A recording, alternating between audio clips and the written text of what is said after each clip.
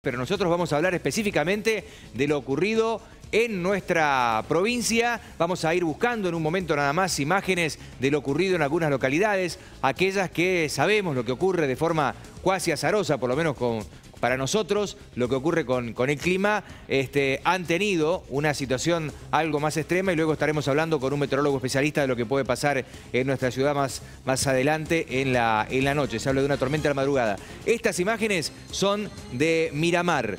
Miramar y Marul, las localidades más afectadas hasta ahora por una tormenta muy fuerte con caída de granizo y entiendo que con un viento muy importante. Pero para tener una referencia más exacta con respecto a lo que ocurrió, tenemos en línea en estos momentos al secretario de Gestión de Riesgo y Catástrofe de la provincia de Córdoba, Claudio Viñeta. Gracias por atendernos, Claudio. Buenas noches. ¿Cómo le va? Muy buenas noches.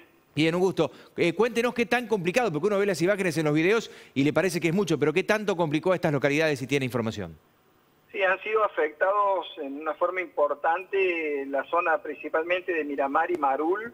Eh, viento muy importante, hemos tenido precipitaciones también en poco tiempo y gran cantidad de precipitación.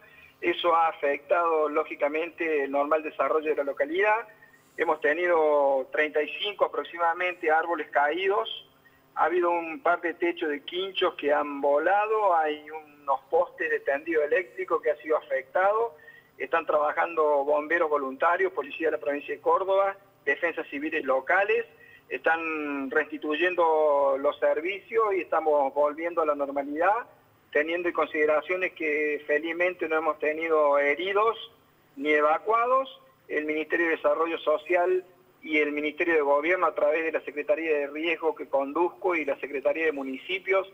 Ya nos hemos contactado con los intendentes y estamos a la espera de evaluaciones de posibles daños para poner en marcha inmediatamente el fondo de catástrofe y desastre de la provincia si fuera necesario. Viñeta, ha sido bastante localizado, decíamos, estas dos localidades es donde ha pasado el, nudo, la, la tormenta más importante. El resto de la provincia no ha sido afectado de forma relevante. El resto de la provincia no hemos tenido más que algunas precipitaciones. Esta zona estaba limitada, lógicamente, como una, con una alerta de temprana a corto plazo del servicio meteorológico, tal cual nos habían indicado, iba a afectar ese sector.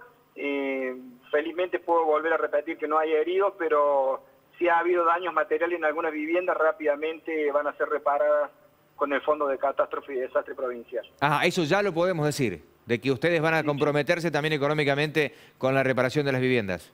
Ninguna duda, en cada uno de estos fenómenos eh, la provincia participa activamente con los intendentes, evalúa los daños y se repara absolutamente todo con el Fondo de Catástrofe y Desastre que el gobernador puso en marcha en el 2015 y que está funcionando a la perfección. Bien, así que por lo tanto se están restableciendo los servicios, repetimos, sin situación de heridos ni tampoco evacuados, Viñeta. Así es, no tenemos evacuados, no tenemos heridos de consideración y estamos ya trabajando fuertemente los bomberos con la policía para restituir todos los servicios de electricidad y volver a la normalidad del pueblo. Bien, de todas maneras, el alerta sigue vigente dentro de la, de la provincia, Claudio, ¿verdad?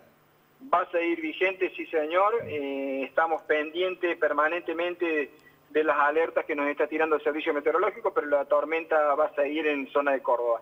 Ha sido muy atento en atendernos, lo dejamos seguir trabajando, Viñeta. Muchas gracias. Muchísimas gracias a ustedes por contactarse.